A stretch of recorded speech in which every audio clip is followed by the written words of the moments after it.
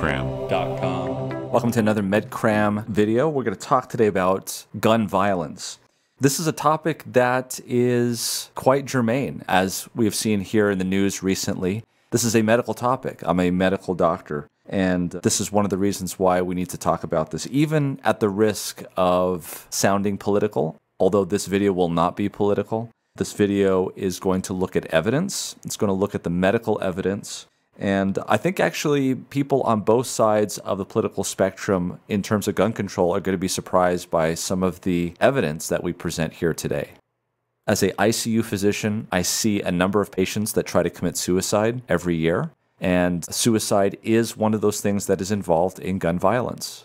So what we intend to do in this video is to look at the problem itself, the magnitude of the problem, look at the data, and then also look at the issue from both the perspective of what is going on in the mind of the perpetrator who is performing the gun violence, and also what can we do as healthcare providers and as first responders in terms of the victims of gun violence. As always, we're going to explain this as clearly as possible this issue is very complicated. And as we know, while there is a problem with gun violence in this country, there are also those millions of citizens who use guns responsibly and use it on a daily basis safely and without issues. So it's important for us to understand the issues and also the data so we can have a logical discussion regarding this issue. And before we go on, I just wanted to make sure that you knew that if you want to support this channel, please subscribe and turn on notifications. And also join us at medcram.com, where we have over 60 different topics with over 60 hours of continuing medical education units. Topics like EKG, ventilator, acid base. Join us at medcram.com. So, the first thing I wanted to look at is in the United States, the number of deaths in thousands for, for instance, cancer deaths. We see here cancer deaths is about 600,000 a year. Smoking deaths are just under 500,000. If we look at gun deaths, it's actually on par with car deaths, and it's around 40 to 50,000 a year and that works out to be well over 100 a day. Now, if you look at gun deaths, I've put here in orange above this the amount of gunshot injuries that result every year, and then the number of gun deaths. Let's take a look at that a little bit more closely. Here you can see again gun deaths up to blue, which is just over 40,000 deaths a year car deaths is just under 40,000 deaths a year. And then here, up to 117,000 incidents with guns every year. And you can see the proportion that lead to death. So obviously, this is an issue. I mean, we have many different types of infrastructure and agencies that are dedicated to reducing deaths due to automobiles and safety on highways and things of that nature. And obviously, this is what we're dealing with in terms of car deaths. We're dealing with a similar amount here in terms of gun deaths. So this is not a small issue. But what we ought to do is look more carefully at those gun deaths and find out what exactly caused those gun deaths. And if we look at that, we can see here that 54% of those gun deaths in the United States were actually suicide. And 43% were where someone was actually taking someone else's life, or murder in this case. That's important to know because the question would be is would these people have committed suicide if they did not have access to guns or would they have chosen something else to end their life? And I guess the same can be said for murder. So the question then is, is what share of all murders and suicides in the United States involves a gun? And as it turns out, in terms of murders, 79% of all US murders in 2020, which is the same year that we used to look at these statistics, involved a firearm of some sort. And that was actually the highest percentage since at least the CDC started looking at records in 1968. Now, in terms of suicide, it's actually lower. 53% of all suicides involved a gun, and that's a number that has remained generally the same over the last few years. Now, this is important to understand for later on. Notice how high the suicide rate here is and the number of people that are using guns to complete suicides. This will become important later. And also, just to think about this, is that there obviously is a huge mental health component to gun violence. I think that's something that is going to be obvious as we go through this presentation. So the question really is is it getting worse? That's one of the questions that people are asking. And if you go to the strict numbers, which I have here on the left hand side, you can see that in 2020, which is the last year that we have numbers for, it was 45,222 gun deaths. And that was an increase over the previous year in 2019 of 14%, or a 25% increase from 2015, or a 43% increase from 2010, just 10 years prior. And whether you break that down into gun murders or gun suicides, you can see that generally speaking, there is definitely a percentage increase. However, if you look at the rate, which takes in consideration the population, you can see that even since 1968, when we started taking numbers, there really has been a pretty consistent rate that is adjusted for population. However, if you look even in the last few years, there's been a steady increase in the murder rate with gun violence and also a steady increase in suicide rate. So overall, it is increasing in terms of the rate, but it hasn't reached historical peaks yet. So the question is is gun violence getting worse? By absolute numbers, yes. But by the rate, it seems to be about the same as it's been, with some evidence of recent increase. However, if we look just at children and adolescents in the United States, as was shown here in this paper that was just recently published in the New England Journal of Medicine, well, we can see here clearly that motor vehicle accidents have dramatically been reduced in children and adolescents in the United States since the change of the millennium we can see here that there are two things that have gone up very substantially in just the last couple of years. And that is firearm related injury, which is now the number one cause of death in children and adolescents, topping off at about six per 100,000. And we're also seeing drug overdose and poisoning going up almost at the same rate in the same population at the same time. This is another important thing that we're going to bring up later in the talk what I would say at this point is that these things might be related to each other and they may be connected through mental illness once again. Again, if you look at gun deaths in the United States and compare it to other industrialized nations, there is a definite contrast. Whereas in the United States, it's 11.9 deaths per 100,000 population. In other countries, such as Canada, it's 1.9. In the United Kingdom, it's 0.2. In Japan, it's 0.0. On the other hand, if you look at the Americas, you see a different picture. So once again, we see here these very low gun death rates per 100,000 in Western Europe and Canada. But if we look at some South American nations, such as Honduras, Colombia, Guatemala, Venezuela, and El Salvador, which actually do have some gun control measures, we see that there are even more gun deaths per 100,000. And we'll put a link in the description below that talk about the gun control policies in those South American countries where they are trying to register the guns, but it seems as though there's a lot of guns that are just not in the registry. And the authors of that paper also point out that there's a lot less trust in the government in those countries in South America. When we look at the United States, we also notice that there is a significant difference in the state firearm mortality rates, as you can see here, with the highest rates being in dark red and the lowest rates being a very light yellow. The highest rate specifically actually is in Alaska, and one of the lowest rates is in Hawaii.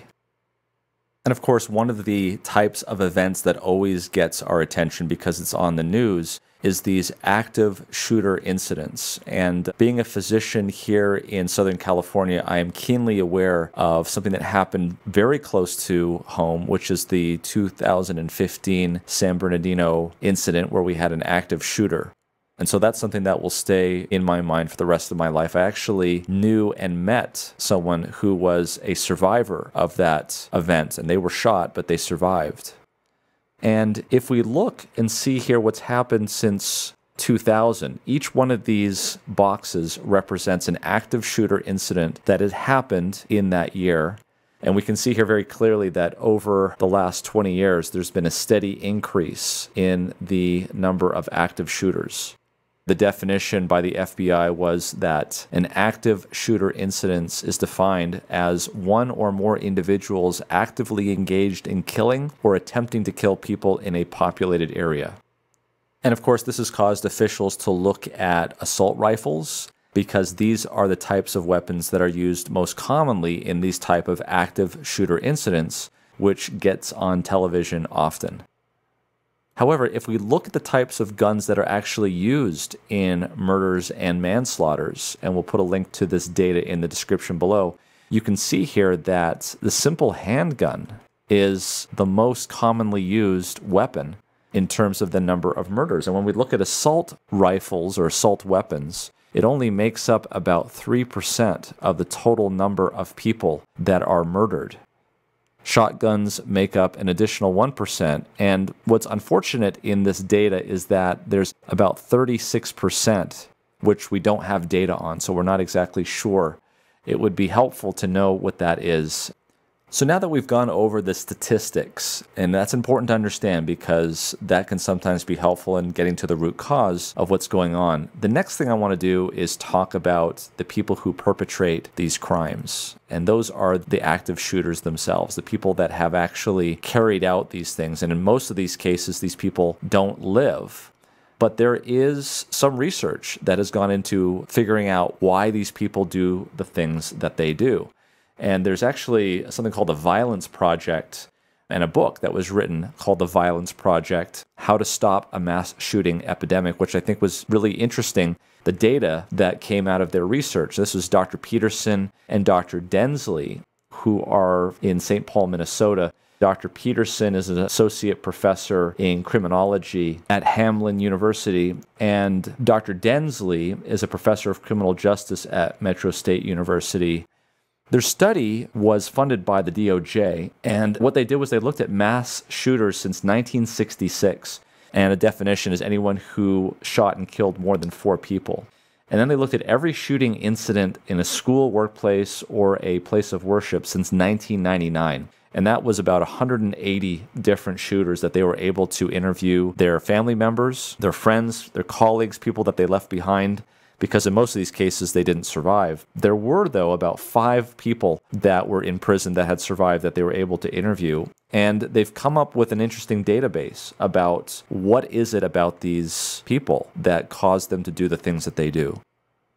So if we look at this, the common threads that they found in terms of these shooters was that there was some sort of early childhood trauma it was either physical, sexual, bullying, parental suicides, some sort of early childhood trauma that they did not adjust to correctly. Now, there's many people that have early childhood trauma that don't do these things.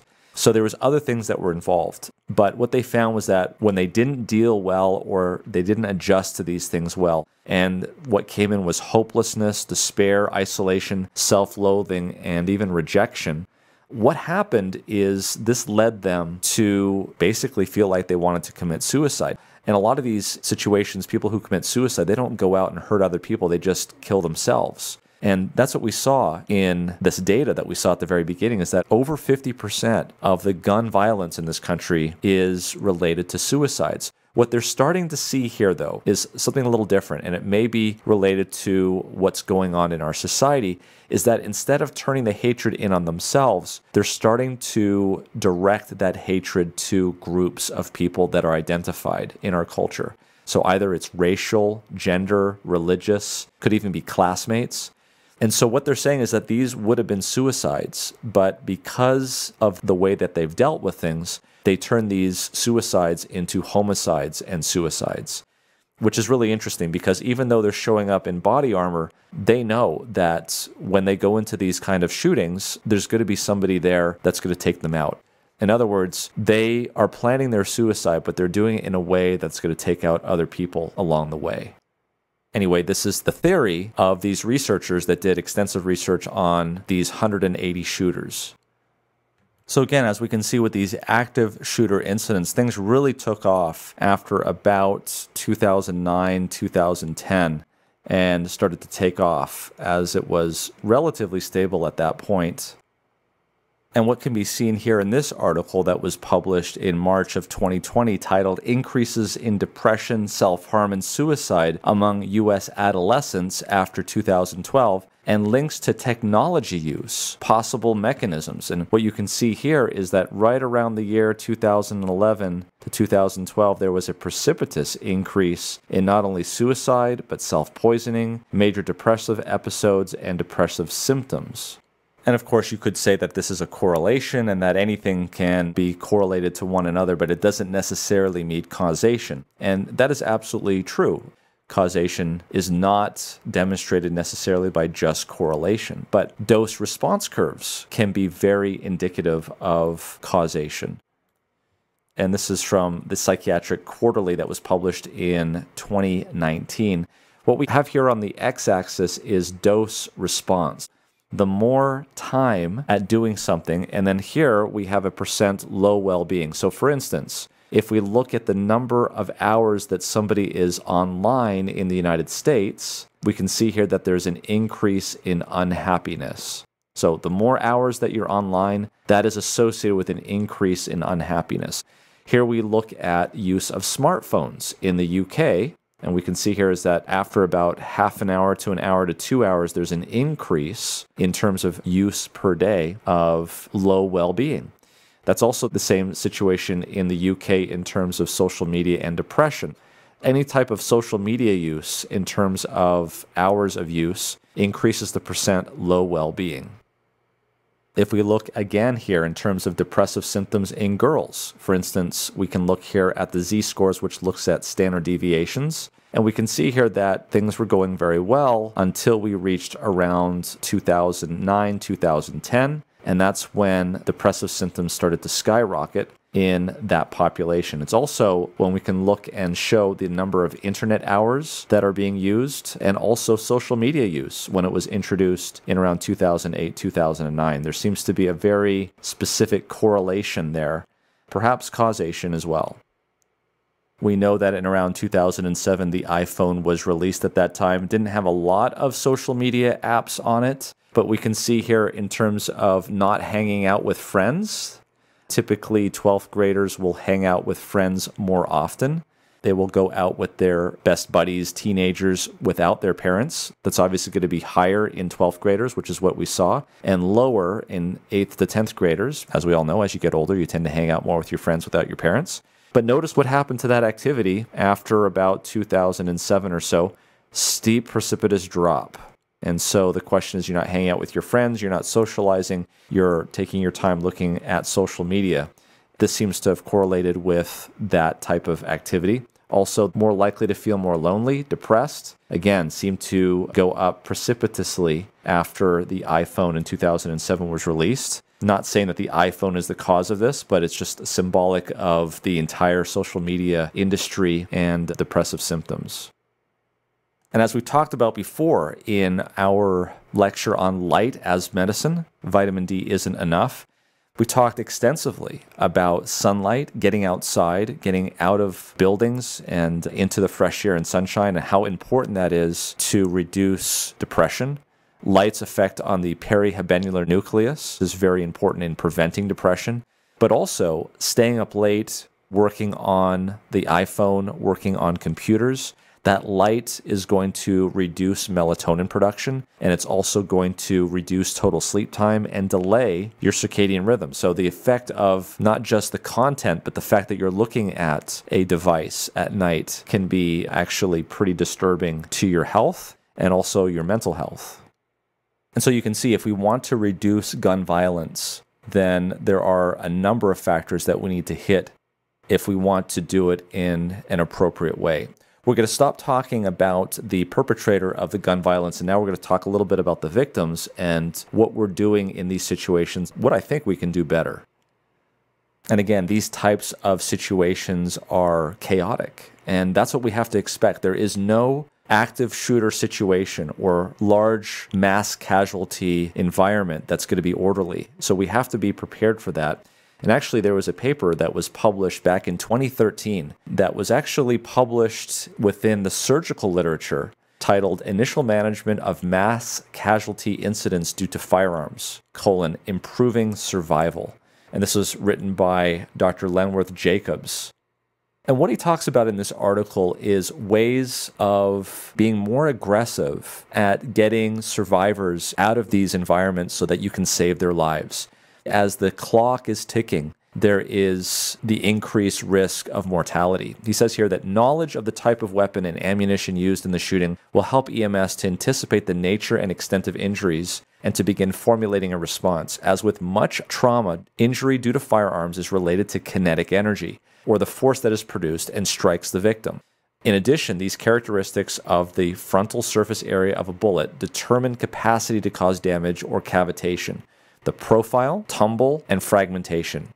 And I remember learning this in medical school. We had a whole unit on forensic pathology where we would discuss the kinetics and the physics of bullets and how they would penetrate the body and were designed basically to cause as much potential damage inside the body as possible, ripping and tearing apart tissues, causing edema, and all sorts of problems. And so this is why these things are designed the way they are. It's to cause the most amount of damage. And so as he talks about here, the profile is the bullet's ability to increase its size on impact. If it does that, it's going to cause a lot more damage. The tumble is the bullet's ability to change its angle once inside the body. Of course, if it changes angle and moves around, rebounds, and does things of that nature, it's going to cause more damage. And then finally, the fragmentation, the bullet's capacity to break into pieces, because the more pieces there are, the more damage it can invoke on its victim. Victims shot with a single low energy bullet that does not change size on impact, does not tumble to increase its impact, and does not break into fragments are going to cause the least amount of damage, and therefore you're going to have victims that are more likely to survive. So, if you can tell what type of ordinance is being used during the assault, you can make an assessment quickly about what your chances are of getting people out early and to get them to survive. The authors of this paper make the point that greater attention to the needs of the victims is important. They say here that the scene is a medical emergency. Law enforcement personnel must focus not only on the shooter, but also the patients. A safe environment for EMS to quickly assess patients and begin their treatment, resuscitation, and transportation for definitive care is critical. Documenting the event and gathering evidence can occur while patients are being treated. In other words, you don't have to clear the area, gather all your information, document all of the bullets before you start treating the patients. The patients need to be treated immediately. He says the first priority needs to be assessment and care of the victims. As noted in the pre hospital trauma life support program, patients are the most important people at the scene of an emergency. They go on in the paper to actually advocate for a tactical emergency medical support team that not only goes in there and tries to stop the shooter, but also to treat patients at the same time. He says that these are specially trained and equipped to function within the perimeter of the danger zone. They support the special operations of law enforcement by injury control, care under fire, special extraction, and tactical rescue. This group supports the missions of law enforcement while maximizing victims' clinical outcomes and minimizing risk to caregivers. This is basically military medicine, which include tactical combat casualty care guidelines, and they are basically the standard for care for military tactical medicine. The American College of Surgeons Committee on Trauma and the National Association of Emergency Medical Technicians have endorsed these guidelines through this PHTLS program that we talked about before all communities should have rapid access to tactical emergency medical support teams. They go on to say that unfortunately, the time has come when intentional civilian mass casualty incidents require a military like response. This approach will enhance rapid assessment, treatment, and triage of patients. Mass casualty shootings should be viewed as medical scenes where treating patients is a top priority. Now, I want to point out this was not written this year in 2022. This was written back nine years ago. This was written at a time where there were other mass casualties that they were talking about, for instance, in Newtown. And they go on to state that although the concepts proposed here would not have saved the 26 Newtown victims, survivability of future mass casualty shootings will be enhanced if EMS and law enforcement personnel adopt policies and procedures for rapid patient assessment, treatment, and transportation to definitive care. So there's no question that there needs to be a discussion in this country about gun control. But there also needs to be a fervent understanding of where this is coming from. And what we're seeing here is while we're not seeing a dramatic rate in gun violence in this country, although it is increasing, what we are seeing is an increase in active shooter incidents, which, based on the data that we've reviewed, may be related more to suicide and suicide causes than homicide. And that's important to understand when we look at this New England Journal of Medicine article, which again shows clearly that firearm related injuries are going up at the same time that drug overdose and poisoning is going up. I think the important things to understand from this is not only the availability of assault rifles, but also the epidemic of depression and mental health issues in our adolescents and what may be causing that epidemic. I think both sides of the political spectrum need to be able to sit down and have a rational discussion about what we can do to prevent these things from happening again. Thanks for joining us.